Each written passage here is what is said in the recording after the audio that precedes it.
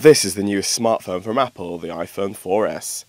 Having had a play with the iPhone 4S, we think the improvements are superb, and here's a quick look at some of them. The camera has been upgraded and has an 8 megapixel resolution and a custom lens with larger aperture. Also remember on previous models when you wanted to take lots of photos in quick succession? Well now you can, take a look at this speed improvement. The video camera has also had an upgrade and can now shoot in stunning 1080p HD. With an improved retina screen, watching video or viewing photos has never been better.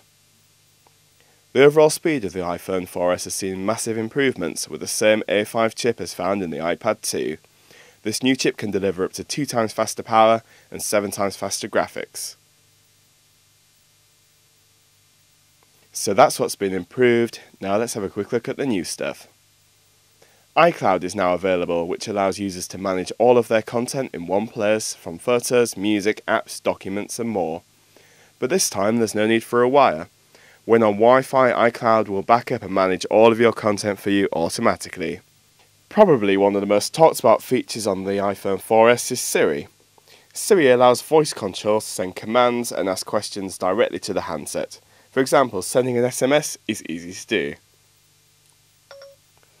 Send text message to the boss. What do you want to say to the boss? Can I take some holiday, please? I updated your message. Ready to send it? Send.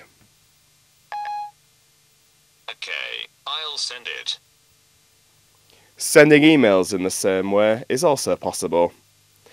Setting calendar appointments and reminders is also very easy and impressive. Remind me to pick up flowers for my wife at 6pm today. Here's your reminder for today at 6 p.m. Shall I create it? Yes. As for questions, it's hard to know what Siri can and cannot answer, but here are a few examples of what we've found. What will the weather be like on Monday?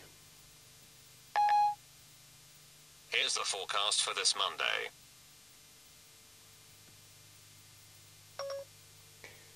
Should I take my jacket out with me today? The low will be 11 degrees. What is the FTSE 100? FTSE 100 is up so far, 5,448.69. So if sales already reported to be dwarfing the iPhone 4, this is set to be the best present for this Christmas.